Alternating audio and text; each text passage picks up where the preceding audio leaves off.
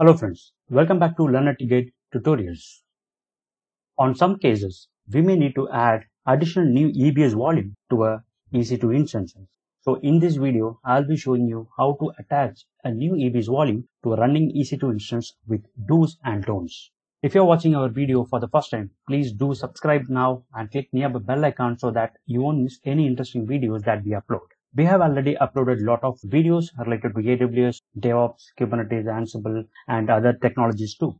If you're interested in learning, please have a look and make sure you have subscribed our channel. Let's get started. To show you this demo, I have a running instance called demo1 on which I'm going to show you this how to attach EBS volume. So first thing, so make sure you have selected the right EC2 with the instance ID or the name and go to storage section on which you can have a look of how many EBS volume been attached to this particular EC2. So primarily you will be having a root EBS volume and also and also identify the availability zone of EC2 instance where it is running. So this EC2 instance is running on US East 1A. You can attach multiple EBS volumes to a single instances, but the volume you create and the instance must be in the same availability zone. That is the main condition for it. Alright, let's go to volumes. Here you will have a list of volumes. Currently I have only one EBS volume that is a root volume. So let's create a new EBS volume. So here you have an option called create volume. Just click on it.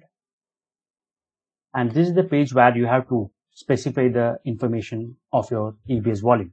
So volume type, let it be the default general purpose SSD. And the size, I just give 2 GB.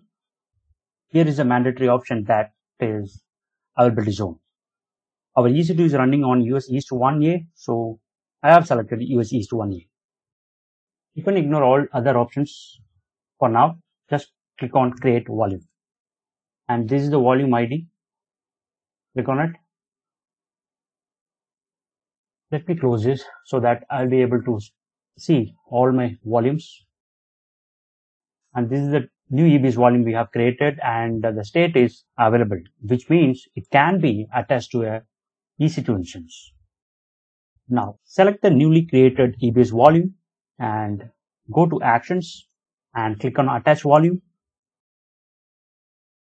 And here search for the instance.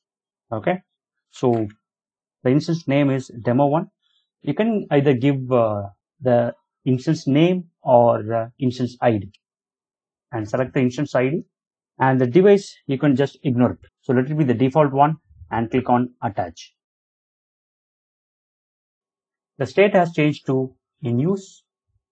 Let me log into my EC2 instance and this is my previous output uh, before uh, attaching the EBS volume where I don't have the additional disk except my root EBS volume that is 8 GB. Let me put the ls block again. Here I could see a new volume been attached to this instance that is 2 GB and currently I am using Amazon Linux instance and even you can use fdisk-l. So this is the device 2 GB is being attached. In order to mount this volume, we have to create a file system. So I'm going to create a XFS file system type on this EBS volume. So make fs dot fs.xfs and the device name. Now again put sudo fdisk-l or you can use ls block. Just get the device name.